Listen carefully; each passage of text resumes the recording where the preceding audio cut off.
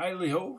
Mr. Kuzinski with you, working on Section S of IXL's Algebra 1 skills. In the last video, we compared linear functions in graph and equation form, and we're going to add tables into the mix here in this video. All right, here we go. The slope of the two functions. Slope is what we're concentrating on. Well, function B, pretty easy to see that the slope is 4. Um, with function A, we got to work a little harder. We're going to look for this increase of 18 here in the y values. And over here we've got a increase of 6. So that means m is 18 over 6, which is only 3. So a, the slope of a, is less than the slope of b because 3 is less than 4. All right, now we got an equation, or I'm sorry, we got a graph and a table, and again, we're being asked about slope. Okay, on this one, I can see that the rise over the run is 1 and 1. 1 over 1 is 1. So, and in function b, from negative 5 to 7, that's an increase of 12. And from negative 3 to positive 3 is an increase of 6 and 12 over 6 is 2. And 2 is more than 1, so the slope of function A is less than the slope of function B on this one.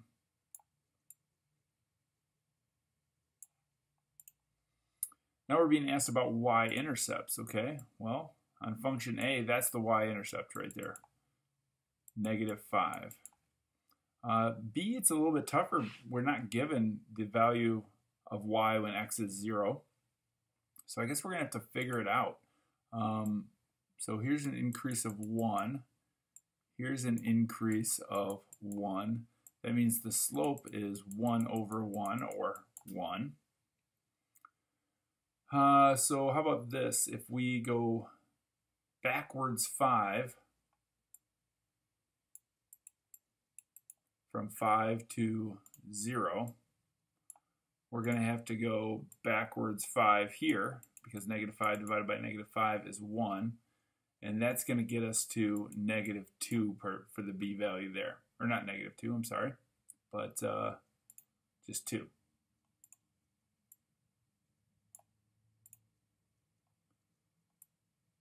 So uh, 2 is greater than negative 5, so the y-intercept of a is less than the y-intercept of function b.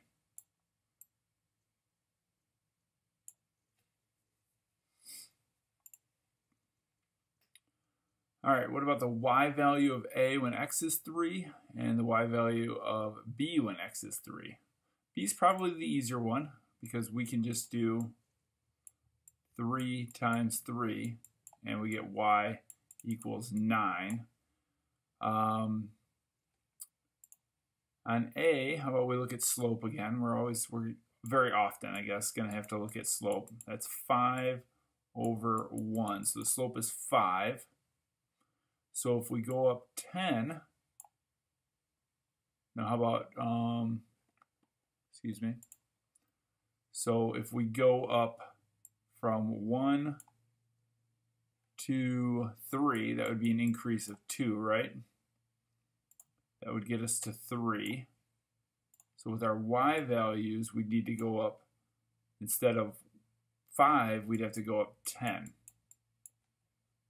Okay, I'm, I'm almost writing the equation here, but not quite. So that would be from 0 to 10, which is 10.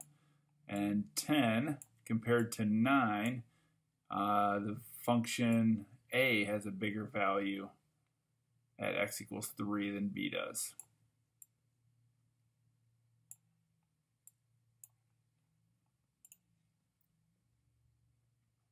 Similar idea here, but we're given a table and a graph, and we're being asked about where x is negative 1.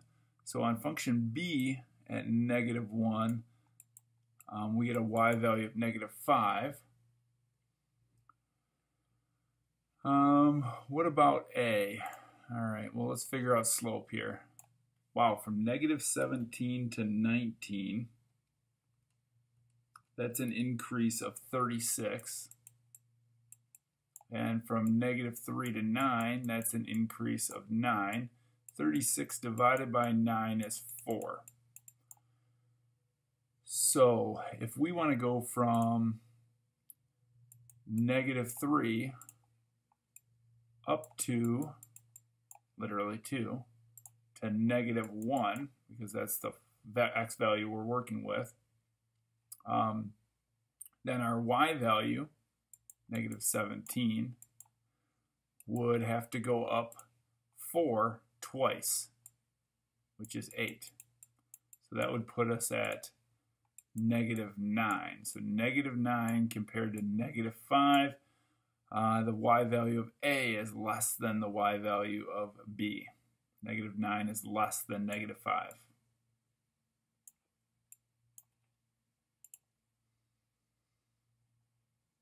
Got a couple more for you here.